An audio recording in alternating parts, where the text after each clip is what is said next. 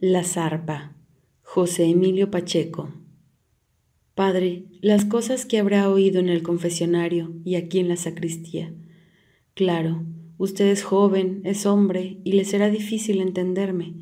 De verdad créame, no sabe cuánto me apena quitarle el tiempo con mis problemas. Pero a quién sino a usted puedo confiarme, ¿verdad? No sé cómo empezar, es decir, ¿cómo se llama el pecado de alegrarse del mal ajeno? Todos lo cometemos, ¿no es cierto? Fíjese usted cuando hay un accidente, un crimen, un incendio, la alegría que sienten los demás al ver que no fue para ellos alguna de las desdichas que hay en el mundo. Bueno, verá, usted no es de aquí, padre. Usted no conoció a México cuando era una ciudad chica, preciosa, muy cómoda, no la monstruosidad tan terrible de ahora. Una nacía y moría en la misma colonia sin cambiarse nunca de barrio. Una era de San Rafael, de Santa María, de la Roma. Había cosas que ya jamás habrá. Perdone, le estoy quitando el tiempo. Es que no tengo con quién hablar y cuando hablo, ay padre, si supiera, qué pena. Nunca me había atrevido a contarle esto a nadie, ni a usted, pero ya estoy aquí y después me sentiré más tranquila. Mire, Rosalba y yo nacimos en edificios de la misma cuadra y con pocos meses de diferencia. Nuestras madres eran muy amigas, nos llevaban juntas a la Alameda, juntas nos enseñaron a hablar y a caminar. Mi primer recuerdo de Rosalba es de cuando entramos en la escuela de parvulitos. Desde entonces ella fue la más linda, la más graciosa, la más inteligente. Le caía bien a todos, era buena con todos. En primaria y secundaria lo mismo, la mejor alumna, la que llevaba la bandera, la que salía bailando, actuando o recitando en todos los festivales de la escuela. Y no le costaba trabajo estudiar, le bastaba oír una vez algo para aprendérselo de memoria. Ay, padre, ¿por qué las cosas estarán tan mal repartidas? ¿Por qué a Rosalba le tocó todo lo bueno y a mí todo lo malo? Fea, bruta, gorda, pesada, antipática, grosera, malgeniosa, en fin, ya se imaginará usted lo que nos pasó al entrar en la preparatoria, cuando casi ninguna llegaba hasta esos estudios. Todos querían ser novios de Rosalba. A mí ni quien me echara un lazo. Nadie se iba a fijar en la amiga fea de la muchacha guapa.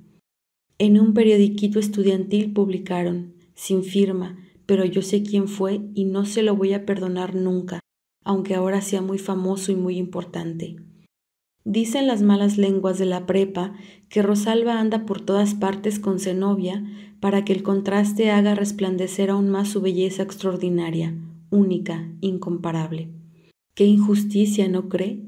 Nadie escoge su cara, y si una nace fea por fuera, la gente se la arregla para que también se vaya haciendo fea por dentro. A los quince años, padre, ya estaba amargada, odiaba a mi mejor amiga y no podía demostrarlo porque ella era siempre amable, buena, cariñosa, y cuando me quejaba de mi fealdad me decía, pero qué tonta, ¿cómo puedes creerte fea con esos ojos y esa sonrisa tan bonita que tienes? Era solo la juventud, padre. A esa edad no hay nadie que no tenga una gracia.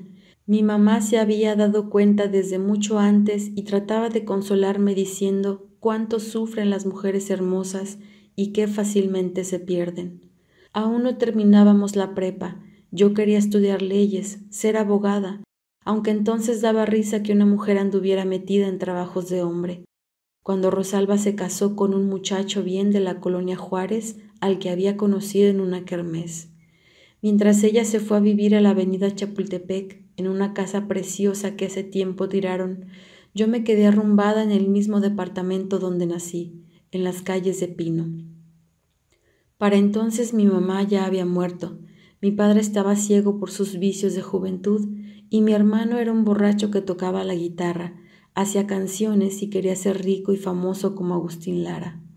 Tanta ilusión que tuve y ya ve, me vi obligada a trabajar desde muy chica, en el Palacio de Hierro primero, luego en la Secretaría de Hacienda y Crédito Público, cuando murió mi padre y al poco tiempo mataron a mi hermano en un pleito de cantina. Rosalba, claro, me invitó a su casa pero nunca fui.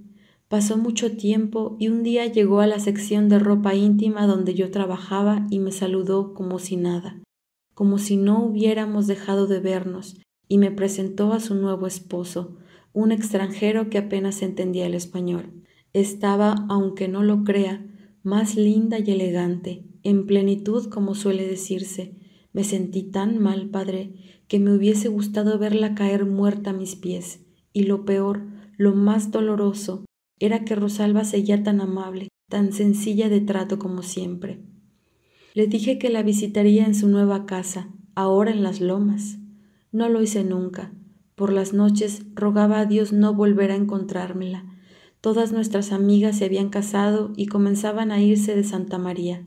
Las que se quedaron ya estaban gordas, llenas de hijos, con maridos que les gritaban y les pegaban y se iban de juerga con mujeres de esas. Para vivir así, padre, mejor no casarse. Y no me casé, aunque oportunidades no me faltaron, pues para todo hay gustos y siempre por más amolados que estemos, viene alguien a nuestra espalda recogiendo lo que tiramos, ¿verdad?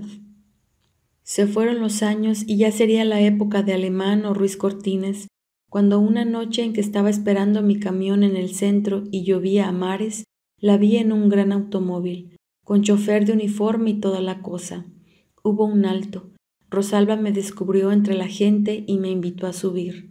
Rosalba se había casado por cuarta vez, aunque parezca increíble, y a pesar de tanto tiempo, gracias a sus esmeros, seguía siendo la misma. Su cara fresca de muchacha, sus ojos verdes, sus hoyuelos, sus dientes perfectos. Me reclamó que no la buscara nunca, aunque ella me mandaba cada año tarjetas de Navidad, y me dijo que el próximo domingo no me escapaba, mandaría por mí al chofer para llevarme a almorzar a su casa. Cuando llegamos, por cortesía la invité a pasar, y aceptó, padre, imagínese, aceptó. Ya se figurará la pena que me dio mostrarle mi departamento a ella que vivía entre tantos lujos y comodidades.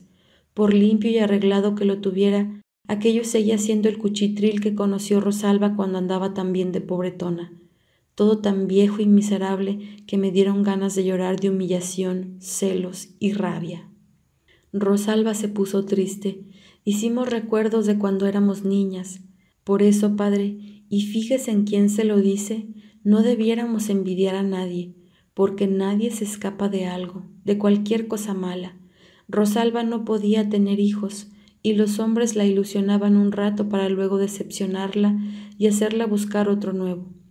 Imagínese, tantos y tantos que la rodeaban, que la asediaron desde siempre, lo mismo en Santa María que en esos lugares ricos y elegantes que conoció después. Bueno, se quedó poco tiempo. Iba a una fiesta y tenía que vestirse, el domingo se presentó el chofer, lo espié por la ventana y no le abrí. ¿Qué iba a hacer yo, la fea, la quedada, la solterona, la empleadilla, en ese ambiente de riqueza? ¿Para qué exponerme a ser comparada otra vez con Rosalba? No seré nadie, pero tengo mi orgullo, padre. Ay, ese encuentro se me grabó en el alma. No podía ir yo al cine, ver la televisión, ojear revistas, porque siempre veía mujeres hermosas con los mismos rasgos de Rosalba. Así, cuando en mi trabajo me tocaba atender a una muchacha que se le parecía en algo, la trataba mal, le inventaba dificultades, buscaba formas de humillarla delante de los otros empleados para sentir que me vengaba de Rosalba. Usted me preguntará, padre, ¿qué me hizo Rosalba? Nada lo que se llama nada. Eso era lo peor y lo que más furia me daba. Es decir, siempre fue buena y cariñosa conmigo, pero me hundió, me arruinó la vida, solo por ser, por existir, tan bonita, tan rica, tan todo. Yo sé lo que es estar en el infierno, Padre, y sin embargo, no hay plazo que no se cumpla, ni deuda que no se pague. Eso último que le conté, ese encuentro, pasó hace veinte años o más no puedo acordarme. Pero hoy, Padre, esta mañana, la vi en la esquina de Madero y Palma, de lejos primero, luego muy de cerca. No puede imaginarse, Padre, ese cuerpo maravilloso, esa cara, esas piernas, esos ojos, ese pelo color caoba, se perdieron para siempre en un barril de manteca, bolsas, arrugas, papada, manchas, varices, canas, maquillajes, colorete, rímel, pestañas postizas. Me apresuré a besarla y abrazarla, padre. Se había acabado ya todo lo que nos separó. No importaba lo de antes y ya nunca más seríamos una la fea y otra la bonita. Por fin Rosalba y yo somos iguales. Ahora la vejez nos ha hecho iguales.